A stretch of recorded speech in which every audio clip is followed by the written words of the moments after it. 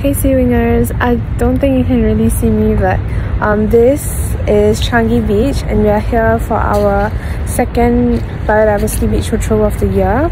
And right now it's about 5.45 so it's very dark but the tides here are super low. So there are some people doing intertidal walks and it's just very pleasant to watch. So we'll keep you updated if we find any um, possible turtles or other marine organisms stay tuned.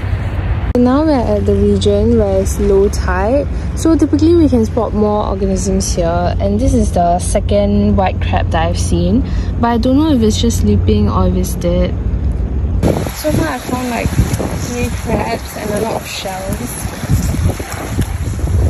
Okay, I just finished recording that and then I immediately spot the fourth crab. It's so cute.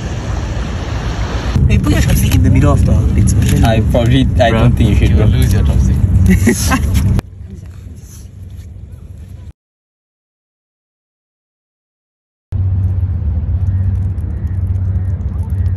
Wait, I seriously have no idea what this is, but it's actually moving. It's moving slowly towards me.